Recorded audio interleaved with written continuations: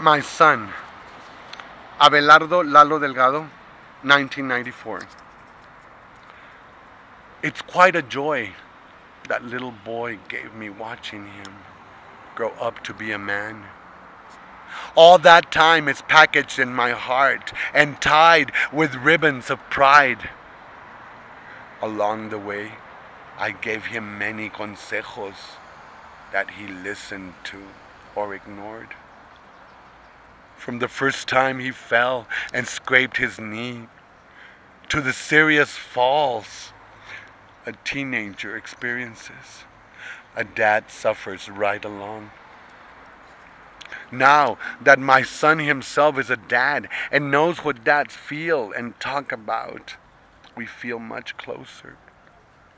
This Christmas, end of the year, special notice is taken of some of his many victories. Victories of the self, which are the hardest to win. The parents, his brother, and his sisters have always known about his gentle ways and his strong faith that makes him soar above where angels full of love swoop and dive. That same faith he's found will give him power to win more battles in the battleground within. He tames demons one by one, and with his smile makes them run. Abelardo Lalo Delgado, July 1994.